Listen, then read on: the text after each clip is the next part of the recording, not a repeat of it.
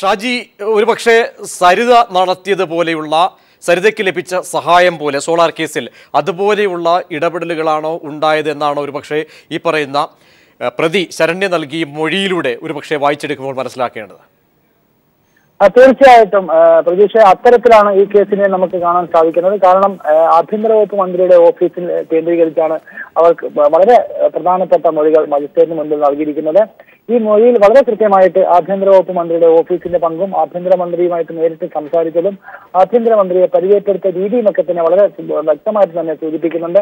നമുക്കറിയാം ആഭ്യന്തര വകുപ്പ് മന്ത്രിയുടെ നാട്ടിൽ പോലീസ് നിയമനത്തിന്റെ പേരിൽ ഒരു തട്ടിപ്പ് എന്ന് പറയുമ്പോൾ സ്വാഭാവികമായിട്ടും ഈ ഓഫീസിൽ നിന്നാണ് പോലീസിന്റെ സീലുകൾ ഔദ്യോഗിക സീലുകൾ കേരള പോലീസിന്റെ സീലുകളും പി എസ് സിയുടെ സീലുകളും ഒക്കെ യൂത്ത് കോൺഗ്രസ് നേതാവ് എടുത്തുകൊണ്ടുവന്ന് ഈ പെൺകുട്ടിയുടെ മുന്നിൽ വെച്ച് അതിൽ സീൽ ചെയ്യുന്ന ഒരു സാഹചര്യമുണ്ട്. ഇത്തരം കാര്യങ്ങളൊക്കെ വളരെ കൃത്യമായിട്ട് പോലീസ് കസ്റ്റഡിയിൽ വാങ്ങുന്നതിന് മുൻപായിട്ട് കോടതിക്ക് മുൻപ് തനിക്ക് ചില കാര്യങ്ങൾ രഹസ്യമായിട്ട് പറയാനുണ്ട് എന്ന് പറഞ്ഞുകൊണ്ടാണ് ഈ പെൺകുട്ടി പറഞ്ഞത്. കാരണം കായംകുളം ഡിവൈഎസ്പിയുടെ മുൻപിലും അതുപോലെ പോലീസിന്റെ മുൻപിലും ഈ കാര്യങ്ങളൊക്കെ തുറന്നു പറഞ്ഞപ്പോൾ അവർ മർദ്ദിക്കുകയും ഇക്കാര്യങ്ങൾ കാര്യങ്ങൾ പുറത്തു പറയുകയും ചെയ്തെന്നാണ് പോലീസിന്റെ ഭാഗത്തു നിന്നുണ്ടായ നിർദ്ദേശം. ഇത് മനസ്സിലാക്കി താൻ ഇതിൽ അകപ്പെട്ടു പോകുമെന്ന് കരുതിയത് കൊണ്ടാണ് ഇവർ മജിസ്ട്രേറ്റിന് മുന്നിൽ സത്യം തുറന്നു പറയാൻ തയ്യാറായത്. അതിന്റെ മൊഴികളാണ് ഇപ്പോൾ നമ്മൾ പുറത്തു വിട്ടുകൊണ്ടിരിക്കുന്നത്. ആഭ്യന്തര വകുപ്പ് മന്ത്രിയുടെ ഓഫീസിന് കൃത്യമായി പങ്കുണ്ട്. ഹരിപ്പാട് കേന്ദ്രീകരിച്ചാണ് ഇതിന്റെ തട്ടിപ്പ് നടന്നത്.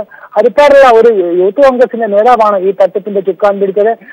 ഈ യൂത്ത് കോൺഗ്രസ് നേതാവ് മാത്രമല്ല മറ്റ് പ്രമുഖരായിട്ടുള്ള ചില നേതാക്കൾക്കും ഇതിന്റെ അകത്ത് പങ്കുണ്ട്. രണ്ട് കോടിയിലധികം രൂപയുടെ തട്ടിപ്പ് നടന്നതായിട്ടാണ് പ്രാഥമിക വിവരം. പക്ഷേ ഇതിൽ നിന്നൊക്കെ വ്യത്യസ്തമായിട്ട് നമുക്ക് കാണാൻ സാധിച്ചത് ഈ കേസ് തുടക്കം മുതൽ തന്നെ നമ്മൾ പോലീസുമായി ബന്ധപ്പെട്ടപ്പോൾ ഇതിൽ പരാതിക്കാർക്കെതിരെയും പലരെയും ഭീഷണിപ്പെടുത്തിയതായിട്ട് നമുക്ക് വിവരം ലഭിച്ചിട്ടുണ്ട്.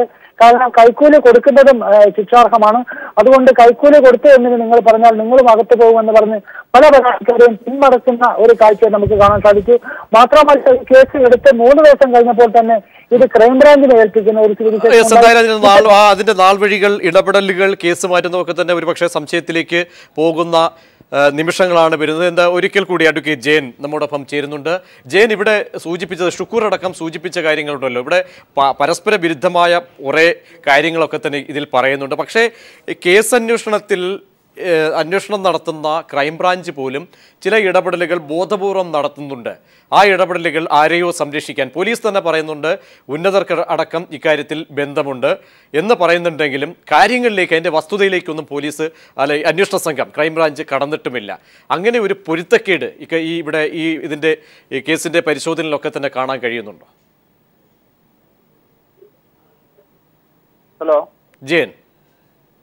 അത് ക്രൈംബ്രാഞ്ച് മൊഴി സ്റ്റേറ്റ്മെന്റ് പറഞ്ഞിരിക്കുന്നത് ക്രൈംബ്രാഞ്ച് എസ് പി സാർ വന്നപ്പോൾ നൈസലിന്റെ പേരും സന്ദീപ് സാറിന്റെ പേര് ചെന്നിത്തല സാറിന്റെ പേര് പറയരുത് എന്ന് പറഞ്ഞു. എന്നാണ് പറഞ്ഞേക്കുന്നത്. ആര- ആരുടെയൊക്കെ ആരുടെയൊക്കെ ഒരിക്കൽ കൂടി?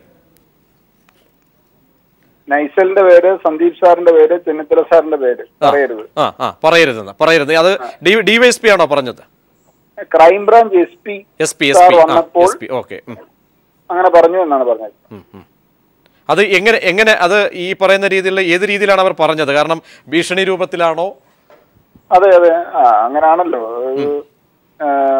അതായത് അതിന് തൊട്ട് മുമ്പുള്ള കാര്യങ്ങൾ ഡിവൈഎസ്പി സാർ എന്റെ നാഭിക്ക് തൊഴിച്ചു തൊഴിക്കുകയും ചെയ്തു. വീണ്ടും കായംകുളം സ്റ്റേഷനിൽ കൊണ്ടുവന്ന് ഒരു മുറിയിലിരുത്തി. പറഞ്ഞോളൂ. കാര്യങ്ങൾ അതായത് രതീഷ് സാറിനോട് എസ് ഐ രതീഷ് സാറിനോട് കാര്യങ്ങൾ പറഞ്ഞപ്പോൾ എന്റെ മുടി എന്നെ കുനിച്ചു നിർത്തി ഇടിച്ചു. ക്രൈംബ്രാഞ്ച് അതിന്റെ കണ്ടിന്യൂഷൻ ആയിട്ട് പറഞ്ഞേക്കുക crime branch S P sir വന്നപ്പോൾ നൈസലിന്റെ പേര് സന്ദീപ് സാറിന്റെ പേര് ചെന്നിത്തല സാറിന്റെ പേര് പറയരുത് എന്ന് പറഞ്ഞു. എന്നാണ് പറഞ്ഞിരിക്കുന്നത്. അതായത് ഭീഷണി രൂപത്തിൽ തന്നെ പറയുന്നു. അതെ അതെ. പിന്നെ സമദ് സാർ ആരോടും ഒന്നും പറയണ്ട എന്നും പറഞ്ഞു. ഈ കാര്യങ്ങൾ പുറത്തു പറയരുത് എന്ന് പറഞ്ഞു. എന്റെ മൊഴി ആരും എടുത്തില്ല. കായംകുളം എസ് ഐ സമ്മത എന്റെ സമ്മതപത്രം എഴുതി വാങ്ങി. ഞങ്ങളുടെ ആ രീതിയിലാണ് മൊഴി തുടർന്നു. പോകുന്നത്. യെസ് വ്യക്തമാണ് ജയൻ. വളരെ നന്ദി. ഇക്കാര്യത്തിൽ അഭിപ്രായങ്ങൾ രേഖ രേഖപ്പെടുത്തിയതിന് വളരെ നിർണായകമായ മൊഴി തന്നെയാണ് മുന്നോട്ട് വരുന്നത്. ആഭ്യന്തരമന്ത്രിയുടെ ഇടപെടൽ യൂത്ത് കോൺഗ്രസ് മണ്ഡലം സെക്രട്ടറി നൈസൽ ആഭ്യന്തരമന്ത്രിയിലേക്ക് പ്രതിയെ അടുപ്പിച്ച കണ്ണി സുപ്രധാന കാര്യങ്ങൾ തന്നെ മൊഴിയിൽ മൊഴിയിലൂടെ പുറത്തു വരുന്നു. ഒപ്പം തന്നെ പോലീസിന്റെ ഇടപെടൽ ആഭ്യന്തരമന്ത്രിയുടെ ഓഫീസിലെയും സ്റ്റാഫുകളുടേത് അടക്കമുള്ള ഇടപെടലുകളാണ് ഒരുപക്ഷെ ഈ പറയുന്ന മൊഴി ഈ രഹസ്യമൊഴിയിൽ വളരെ വ്യക്തമായി തന്നെ പറയുന്നത്. കൂടുതൽ ഇത് സംബന്ധിച്ച തെളിവുകൾ കൂടി പുറത്തു വരേണ്ടതുണ്ട്. അന്വേഷണ ഏജൻസിയുടെ ഇടപെടലുകൾ ആഭ്യന്തരമന്ത്രിയുടെ ഓഫീസ് ഇക്കാര്യത്തിൽ നടത്തിയ ഇടപെടലുകൾ ബോധപൂർവമായ അന്വേഷണ സംഘത്തിന് മേൽ നടത്തുന്ന ഇടപെടലുകൾ സമ്മർദ്ദം. ഇതൊക്കെ തന്നെ എന്തായാലും അതിന്റെ കൂടുതൽ വിശദാംശങ്ങളിലേക്ക് പോകേണ്ടതുണ്ട്. നമ്മോടൊപ്പം A M Arif M L A ചേരുന്നു. ആരിഫ് പീപ്പിൾ ടി വി പുറത്തുവിട്ടത് ശരണ്യ എന്ന പ്രതിയുടെ മൊഴിപ്പകർപ്പിന്റെ പൂർണ രൂപമാണ് അതിൽ അടിവരയിടുന്നത് ആഭ്യന്തരമന്ത്രിയുടെ ഓഫീസിലേക്കും ആഭ്യന്തരമന്ത്രിയിലേക്കുമുള്ള സംശയങ്ങളുടെ നിഴലുകളാണ്. അതിന് വ്യക്തമായ കാരണങ്ങളും സാഹചര്യങ്ങൾ ഒക്കെ തന്നെ തുറന്നു പറഞ്ഞുകൊണ്ടാണ് ഈ മൊഴി മുന്നോട്ട് വയ്ക്കുകയും മൊഴിയിലെ പല കാര്യങ്ങളും പറഞ്ഞു പോകുന്നത്. ഗൗരവതരമാണോ കാര്യങ്ങൾ? നിങ്ങളോടൊക്കെ സംശയിച്ച കാര്യങ്ങൾ അതിന്റെ നേർസാക്ഷ്യമാണോ മുന്നോട്ട് വരുന്നത്. തീർച്ചയായും. കാരണം കേരളത്തിലെ യു ഡി എഫ് ഗവൺമെന്റ് മന്ത്രിമാരുടെ ഓഫീസുകളും അതുമായി ബന്ധപ്പെട്ട് പിന്നെ മന്ത്രിമാരുടെ പേഴ്സണൽ സ്റ്റാഫുകളും പ്രതിയായിട്ടുള്ള ഒരുപാട് കേസുകൾ പലതായി വന്നു കഴിഞ്ഞല്ലോ. ബഹുമാനപ്പെട്ട മുഖ്യമന്ത്രിയുടെ സ്റ്റാഫിൽപ്പെട്ട മൂന്ന് പേരെ ഇപ്പോ ജയിലിലായിരുന്നു രണ്ട് പേര് ജയിലിലായിരുന്നു ഒരാൾ നാട് വിട്ടുപോയി അതുപോലെ തന്നെ ബഹുമാനപ്പെട്ട ശ്രീ ആര്യാടൻ മുഹമ്മദിന്റെ പേഴ്സണൽ സ്റ്റാഫിൽപ്പെട്ട അദ്ദേഹത്തിന്റെ പേഴ്സണൽ അഡീഷണൽ പ്രൈവറ്റ് സെക്രട്ടറി ഇപ്പൊ ജയിലിലാണ്.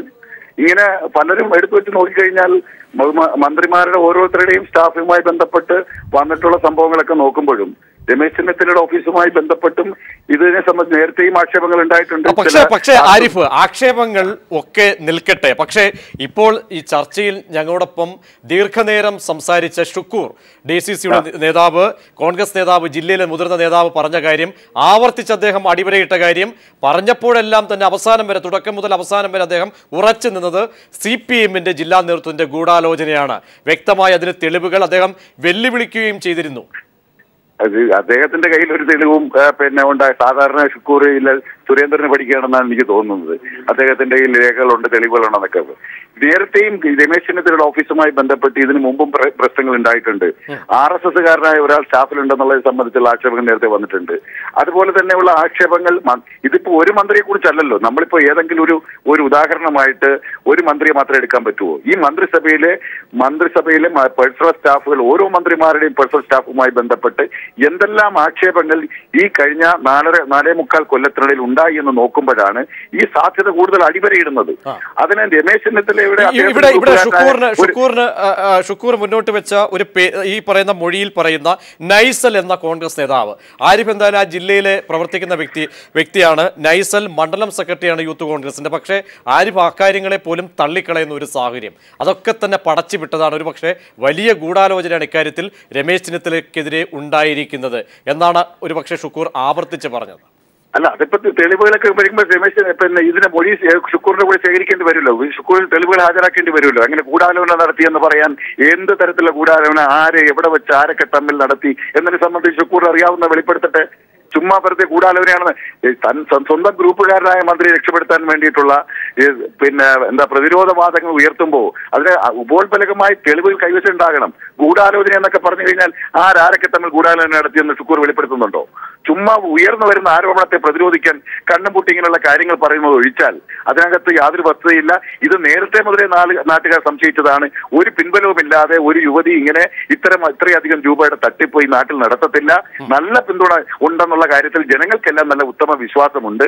അക്കാര്യത്തിൽ കേസുകളെയും കേസ് ഉദ്യോഗസ്ഥന്മാരെ ഉപയോഗിച്ചുകൊണ്ട് അട്ടിമറിക്കാനുള്ള ശക്തിയും കരുത്തും കരുത്തുമൊക്കെ കഴിവുമൊക്കെ ശ്രീ രമേശ് ചെന്നിത്തലയ്ക്കും അതുപോലെ ശ്രീ ഉമ്മൻചാണ്ടിക്കൊക്കെ ഉണ്ടെന്ന് അവർ തെളിയിച്ചിട്ടുണ്ട്. പക്ഷെ എത്രയൊക്കെ അവർ മൂടി വെച്ചാലും ഒരു കാലത്ത് പുറത്തു വരും ഇതെല്ലാം എന്ന് തെളിയിക്കപ്പെടുന്ന സംഭവങ്ങളാണ് ഇപ്പൊ കെ എം മാണിയുടെ കാര്യത്തിലും കെ ബാബുവിന്റെ കാര്യത്തിലും ഇപ്പൊ ഉണ്ടായിക്കൊണ്ടിരിക്കുന്നത്. ഈ ഈ പറയുന്ന കേസുകളൊക്കെ പല നാൾവഴികൾ ഒരുപക്ഷെ അന്വേഷണത്തിന്റെ ദിശയൊക്കെ പൂർണ അർത്ഥത്തിലേക്ക് ജനങ്ങൾക്ക് വിശ്വാസയോഗ്യമായ തലത്തിലേക്ക് എത്തപ്പെട്ടത് ഒരുപക്ഷെ ഇടപെടലുകൾ നിങ്ങളുടെയൊക്കെ തന്നെ വ്യക്തമായ സമരത്തിന്റെയൊക്കെ മാർഗത്തിലൂടെയായിരുന്നു. ഇതിപ്പം ആലപ്പുഴ ജില്ലയിലാണ് ഇതിന്റെ ഉൽപ്പത്തി എന്ന സ്ഥിതിക്ക്.